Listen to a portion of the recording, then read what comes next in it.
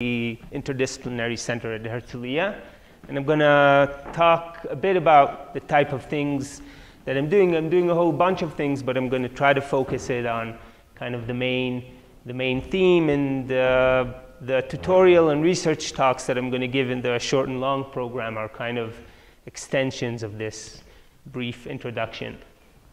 So the main uh, kind of thing that I think ties all of my research is this attempt to try to understand how evolution and population history affect genome sequence variation. This is kind of the main uh, objective of population genetics in general, and one of the main reasons that we're interested in this kind of process is that we can, so that we can draw inferences by looking at genome sequences and trying to kind of understand our population history. And there are kind of two general things that we'd want to learn from genome sequence variation. Is there a way maybe to turn these off?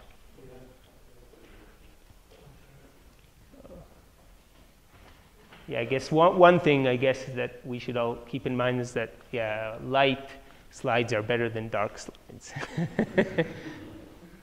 um, so we'd want to make these inferences, and the two main things we want to learn are one is just the demographic history, how these populations uh, kind of uh, spread and evolve their sizes and uh, the times at which the, they split and gene flow between populations, and I'm going to talk quite a lot about that. Another thing is how natural selection affects, uh, affects variation. That is that's obviously the thing that uh, we, can, we can then use these genome sequence variation signals to understand a bit more about function of these uh, different genomic regions. So a lot of people are doing population genetics, and I think the one thing um, that we do a bit kind of differently than what most people do is that we always try to think about these genetic genealogies in the middle and a Hopefully you'll understand what this means in about five minutes.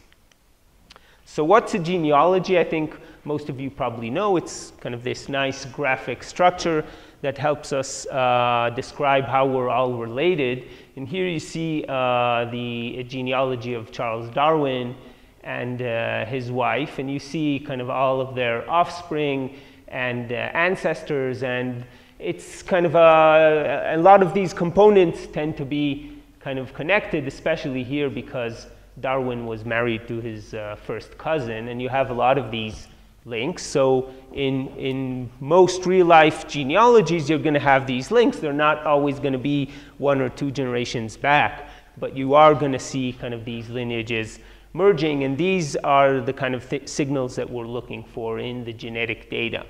So this is, you know, actual genealogies that we can draw from historical records. They don't tend to be very deep or very wide. But if you think about genetic genealogies, they can be uh, hundreds, thousands of years uh, deep and very, very wide. So what's a genetic genealogy? Now try to think about, before we get into kind of genetic genealogy, try to think about kind of the concept of genealogy in general. So if you're situated here, this is kind of your person of interest, then the genealogy is a tree structure that goes back in time, right? We all, each, every one of us has two parents and four grandparents and eight great grandparents. And as we go back in time, we see these uh, kind of lineages starting to merge because at one point we kind of have these uh, separate lineages that uh, uh merge at common ancestors. So it's not really a tree, it's kind of a graph structure going back in time. So what can we learn? So now, say that you have this genealogy at hand for some person of interest. It has a lot of, this genealogy has a lot of very useful information about population history.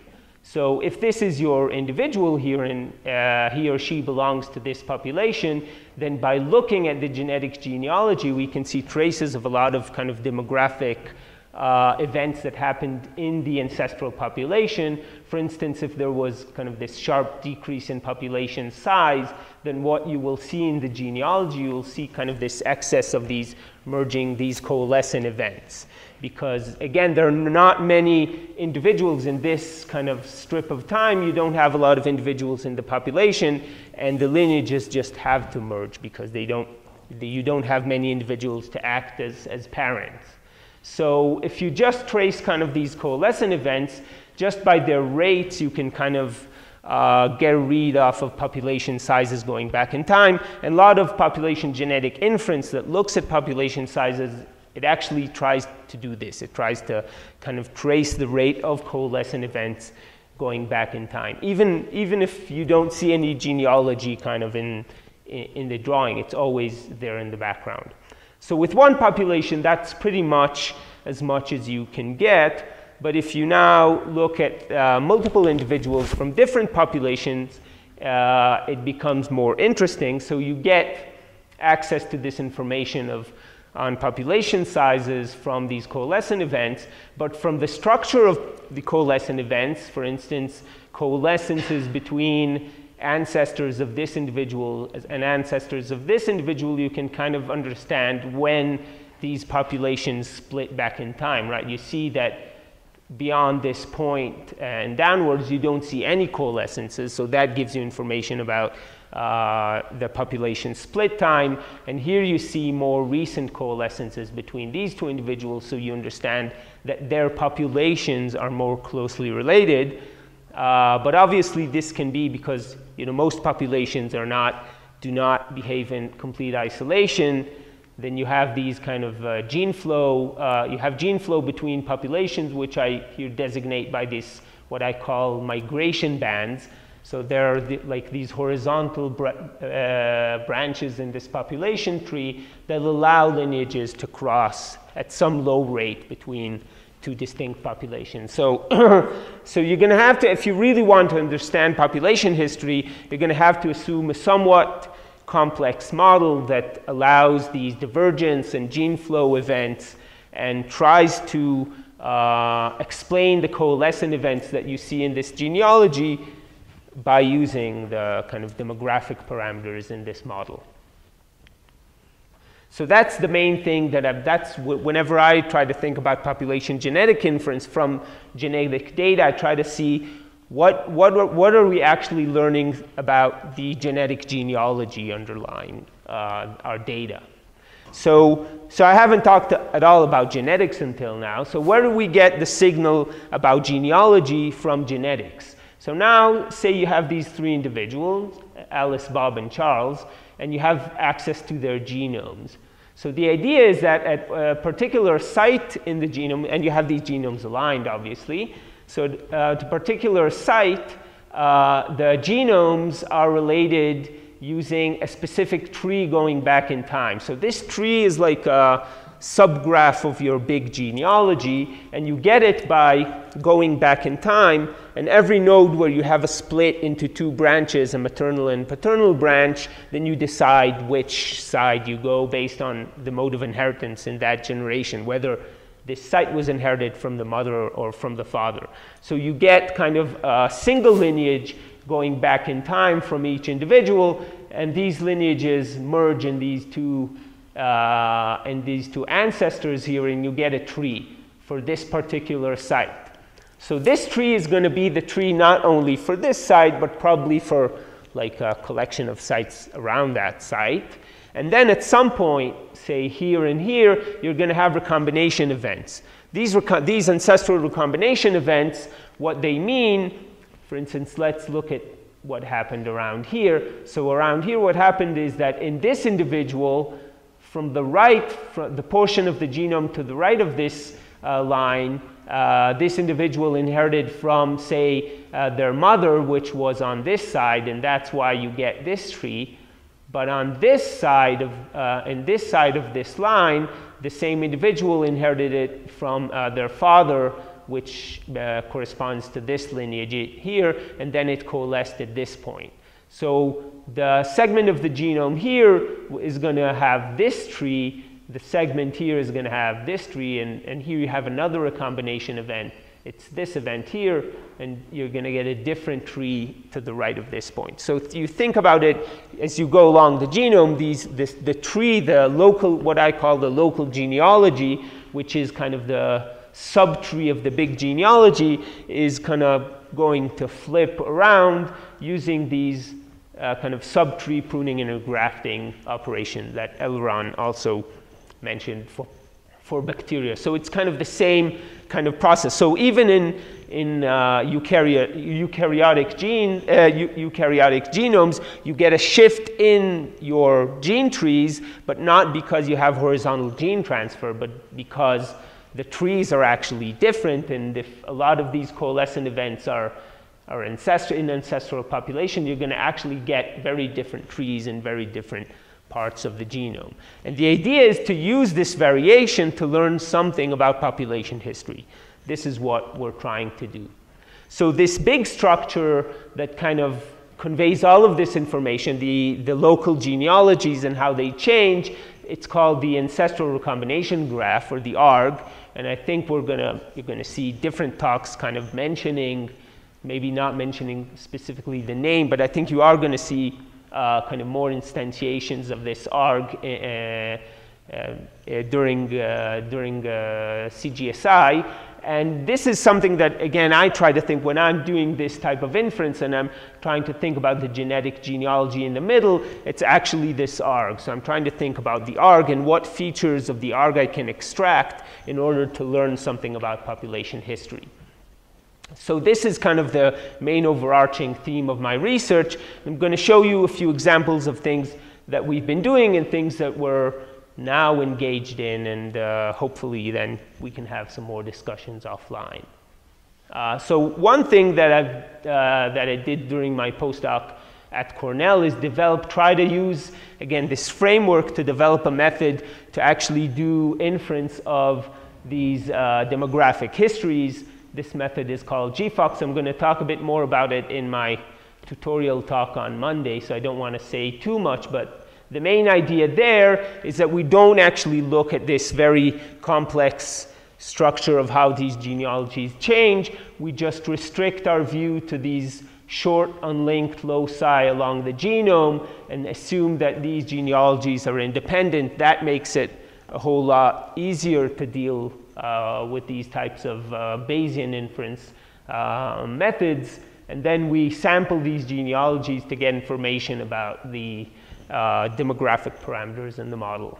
So that's one uh, thing uh, that we're doing, and this is uh, something that was actually developed by another postdoc in, in Adam's lab, but we're using it as well, is kind of a way to again, use the complete model of this ancestral recombination graph and how these trees change along the genome, but we can't really use it to do demography inference, but we can, we can infer these, uh, we can do probabilistic inference of this ARG, and then use that inference to do kind of post-analysis and learn something about genetics. I'm going to mention this maybe a bit in my research talk.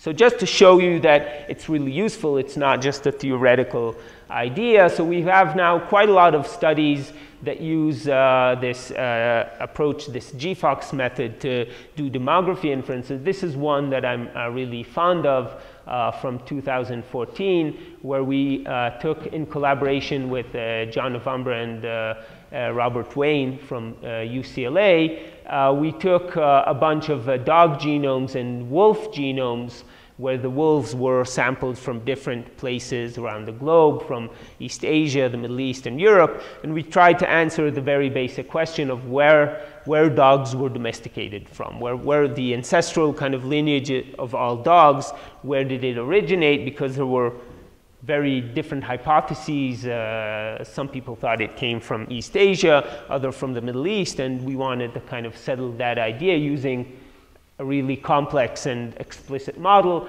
And uh, we were able to use G-PhoCS to kind of infer this demography. And, it's, and the nice thing about it is that it turned pretty complex.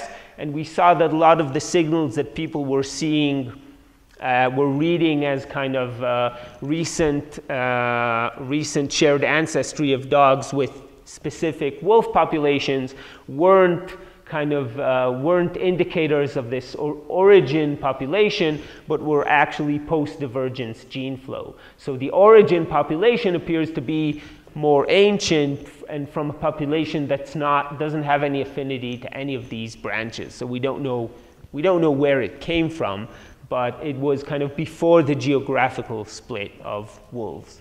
So that main question was left open, but at least we found that, uh, again, it's this complex history of gene flow between wolves and dogs that makes this problem very complex. And uh, another uh, really cool uh, analysis that we did uh, and published uh, last year is this reanalysis of the Neanderthal genome that I'm going to talk a bit more about in my research talk. So I'm just going to give a very brief intro here. Um, so if you're not aware of this, we can now sequence DNA from uh, bones that are tens of thousands and even some several hundreds of thousands years old, and we can take DNA and sequence genomes, and some of these genomes are at high quality, as high quality as we can sequence from any of you today. So we can do a lot of the inference that we're used to doing on present day populations now on these extinct populations, and we can learn very cool stuff. So uh, we did that on the data that was already published back in uh, 2016. There was a high coverage Neanderthal genome and another high coverage genome from a closely related population, these Denisovans. I'm going to again talk uh, in more detail about this uh, uh, in, in about a week and a half. Uh, so you're going to get all the details, but the main idea that I wanted to show here is that we're able to, first of all, it's the first time people have been analyzing these data, but they, but you know, never, never tried to actually uh, infer uh, kind of a unified demography for these extinct populations, and this is what we did here. So we see one thing that you see is that you see, in contrast to modern humans, uh, here represented by Yoruba, by, by West African populations, these archaic humans uh, have uh, kind of suffered from very small population sizes. This is kind of the width of these branches. And it, it seemed to be kind of gradually decreasing as they split.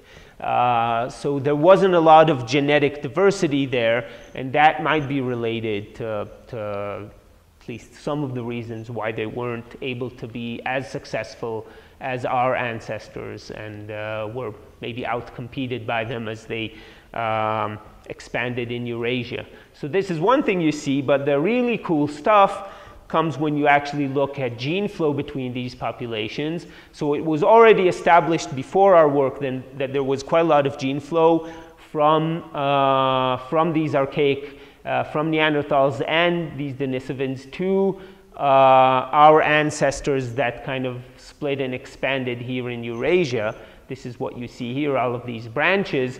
But, and we see a lot of that in our analysis as well. But one thing that we saw, which was kind of surprising, is that we see also some earlier gene flow in the other direction that we associate with a branch that's not actually represented by any present day human population. So it's a branch that uh, is kind of more basal and probably got extinct, but it's more closely related to the modern kind of branch here than this. So it acted kind of as a bridge and allowed gene flow from our very great ancestors into the Neanderthal and Denisovan branch. So I'm going to talk quite, quite a bit about how we can find these signals in the genome and how we can be quite sure that something like this happened. And it's, as you can think, yeah.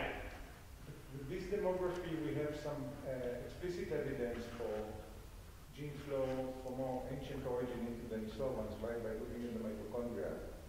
Is that something? So I'm going to talk a bit about that. So in the mitochondria is a very different story. It's actually, so people so there is also evidence, I'm not showing it here because it's kind of a simplified figure. There is an additional archaic branch that seemed to have contributed to Denisovans, and we are able to show, so that, so I'm going to talk a bit more about that, but it, it is related to this. But the mitochondria is actually a different story. It seems that the Neanderthal mitochondria is probably modern human mitochondria. It's the, the, the reason that Denisovans are an outlier is not because they got it from an, from an ancient uh, population, but probably because Neanderthals got their mitochondria from something, from something like this. That's what people think today. We, we can talk about it offline, but it's a very com there, there are even more branches here that I'm not showing, and it's pretty complicated. I'm going to hope hoping to convince you in my research talk that we can fairly confidently make these inferences and it, that it's not just stories kind of on a, on a one slide thing. But that's not for today. So these are uh, a lot of the things that I'm uh, still doing. Um, but when I'm gonna, how much time do I have? I Anybody looking at the time? Hmm? Okay, yeah, so that's definitely enough, enough time. So what I want to talk more about uh, now that I have 10 minutes is something that I didn't put in any of my other talks, and it's something that we're doing now, and uh, I wanted to at least mention it. And this kind of a foray into trying to use these approaches to understand how natural selection might affect kind of how genealogies are uh, distributed along the genome. And this is through a study on uh, speciation. So uh, when species kind of emerge, when you, see, here you see a kind of a, a, figure where you have this ancestral population and then it splits into two separate populations and they kind of uh, evolve separately. And what we know is that this, while we want to think about this as an instantaneous event, it's actually pretty gradual event. So when populations split, and there are some cases where the split is very fairly instantaneous, where, the, where there's a clear geographical separation and they don't really interact. But in most cases, speciation, even after speciation, the species are kind of either, um, either very close to each other and still there is some migration, or actually within the same habitat, but the speciation is only generated by kind of uh, adapting to different niches in that, in that region. So they always have the opportunity to exchange genes.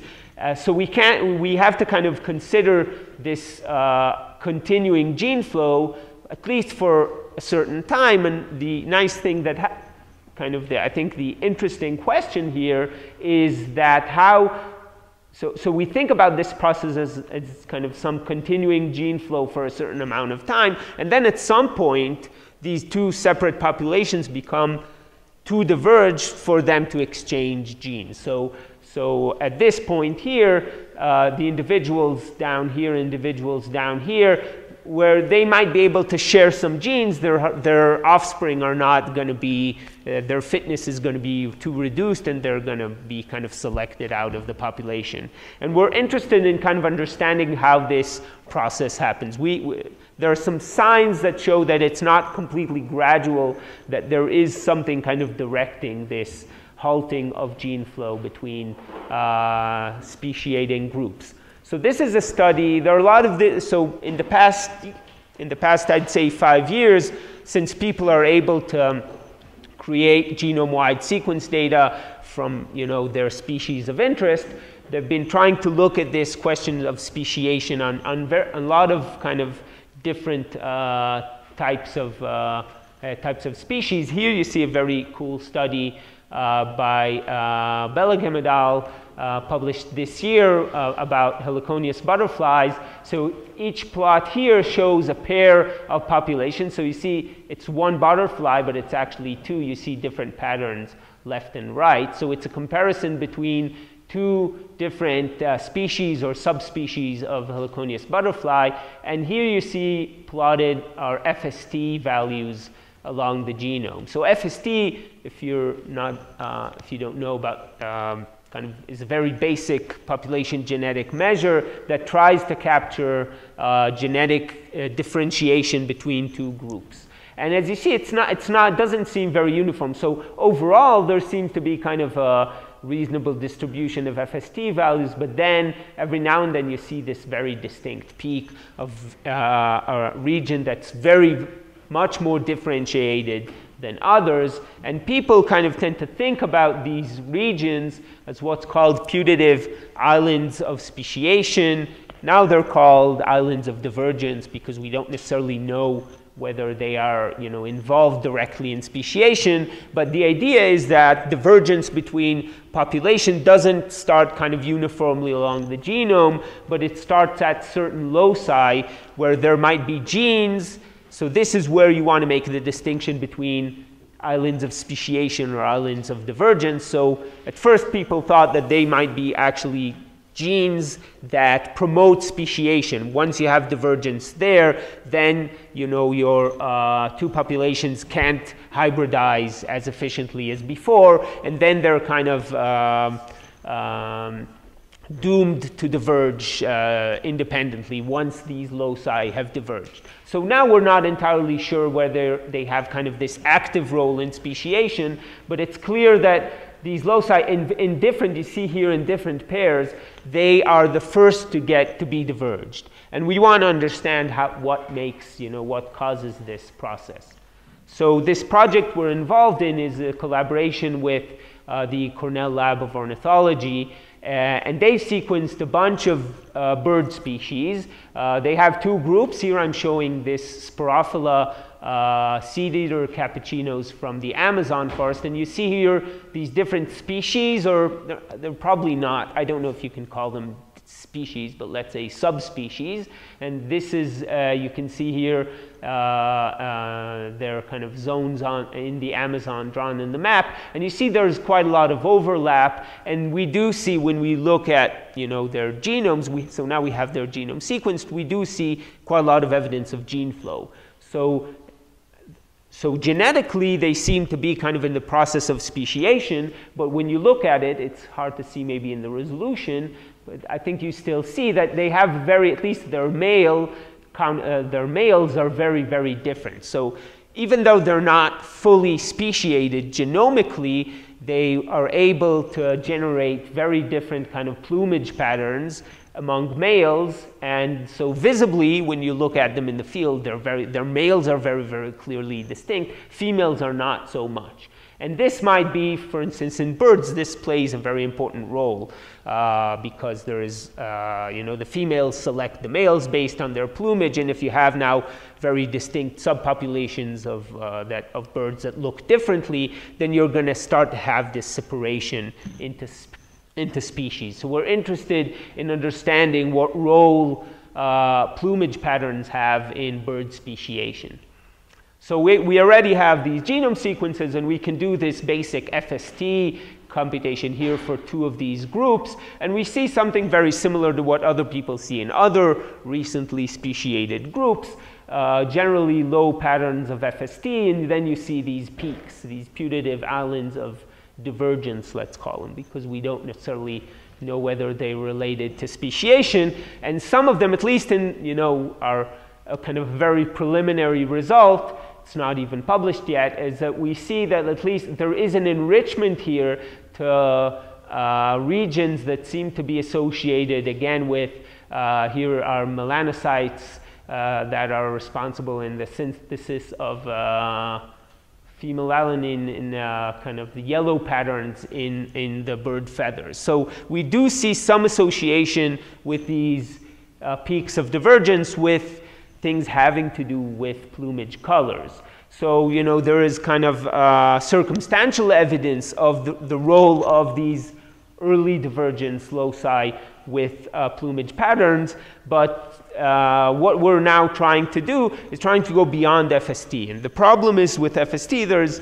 growing evidence that FST is not a very good measure to do these types of things because it's very sensitive to demographic, like if there is a, uh, if there is a fairly strict uh, reduction in population size, that's going to tend to increase FST. And kind of population size is not something that's constant along the genome. And I'm not going to get into that here, but some loci are going to be affected more than others. And people have shown that this leads at least to some of these divergence peaks might be related to artifacts, and they, they're not really highly diverged.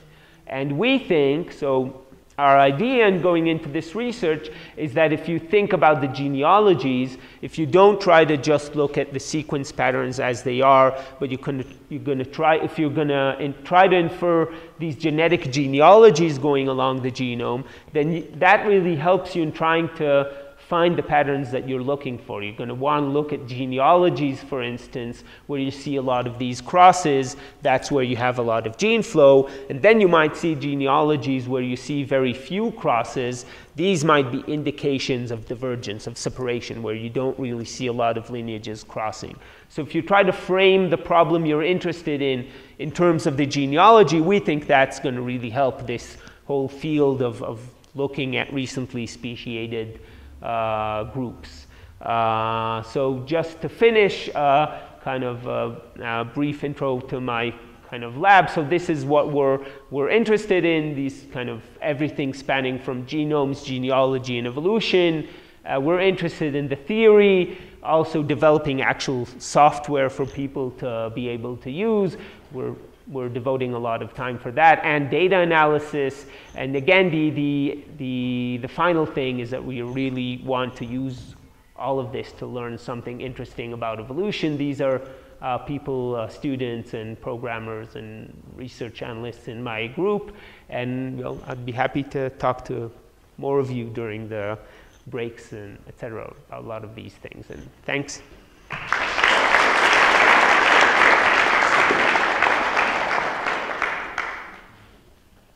Questions? Okay, yeah. Uh, that, that uh, alternative analysis you proposed in the last slide. Yeah. Uh, so will it help you to, uh, to address this? So I guess what they're looking for is not only how uh, speciation goes in terms, in terms of population uh, histories, but they're also looking for what, like, the, the, the triggers that might, yeah, exactly.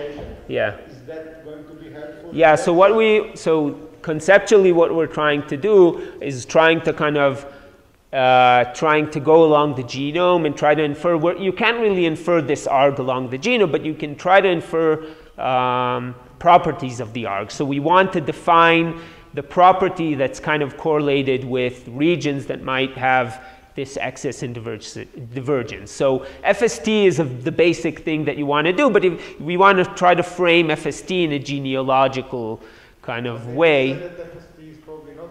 Yeah, so we if but if you look at the genealogy, then you can so if you actually reconstruct the genealogy, you can I think address a lot of these artifacts that affect FST and not. Try to sort of identify regions where the coalescence is ancient. ancient yeah.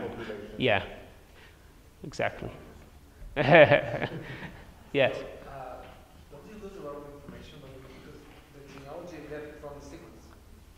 you have it from the sequence. So in the end, you basically just look at the sequence. Yeah, but the idea. Yeah, no, but the idea, so, so the idea is to create a summary. So FST is also a summary of the sequence. We think FST is kind of too low dimensional. We want to create a summary of the sequence using the genealogy that is more related to what people are actually looking for. The genealogy from the yeah. But basically what I'm asking, essentially what you're saying is that the FST is not a good measure. You're looking for a different measure of the sequence that yeah. is going to be guided by the Right, yeah. So this is just the intuition. That's because exactly. Just the sequence, it's yeah, it's, it's, it's a function of the sequence, but it's a different function of the sequence. And so the genealogy is a, is a mode of thinking, right? It's just, for me at least, it helps you kind of frame the type of thing that you're looking for. When you're thinking about FST, a lot of people think actually about the genealogy. You're trying to look for places where your two populations are are more separate kind of than you would expect. So you think about it in the way the tree is kind of separate, but eventually you, you, you use a summary that actually only looks, it's a site-wise summary that you just average in a big block. We think that you can actually get more by explicitly thinking about the genealogy and pooling also pooling also better information from you know nearby sites and not just averaging a site-wise sequence so measure. Anyone try just to think about sequence because FST is also thinking about the genealogy. Right? Yeah. Just taking the sequence and going to basically to the question without thinking about any genealogy of the middle, just like thinking about. So what people are doing now is FST or Yeah, I have to. but what basically what people are doing in this field are, is using so they might be using different methods but they're usually using a site-wise measure fst or what's called dxy or whatever or heterozygosity but it's measured per site and then they average it in a block what we think you, that you can do genealogies are not independent across sites and you can use this correlation to actually understand for a given block of interest kind of get the information you're really interested in in a statistically right way. Maybe that's the best way to say. Yeah. Okay, thanks again.